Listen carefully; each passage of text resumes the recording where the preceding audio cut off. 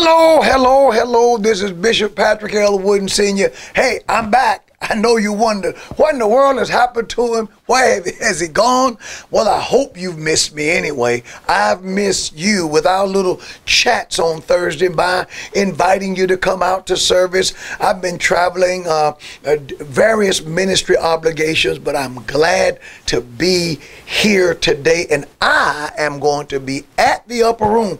And you can't miss tonight's uh, message. I'm talking from this subject anticipation. Still dealing with the divine partnership between the Apostle Paul and the church at Philippi, and, and how Paul went back 10 years and did a history lesson on his relationship with them, and how they've had a wonderful two sided relationship, they with him and he with them. But my friends, he says, even the things that God has done, I anticipate that the Lord will continue to do those things. Nothing encourages a believer's heart like the anticipation that what God has started, the Lord will finish. And I want to tell you something.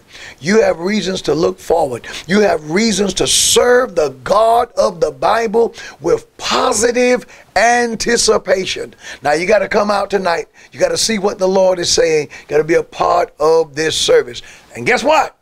This Sunday, Shiloh begins, and yours truly will be preaching the initial Shiloh message, and I am excited. Our theme this year is courageous.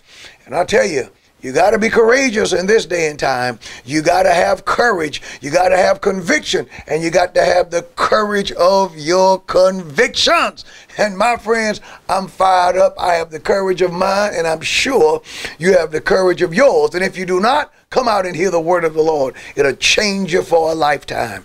It'll change you throughout for, for all throughout eternity. So, tonight, we're filled with anticipation Come and hear the word of the Lord. You're going to be blessed. I promise you, you're going to be blessed. And I am going to be glad to see you. see you tonight.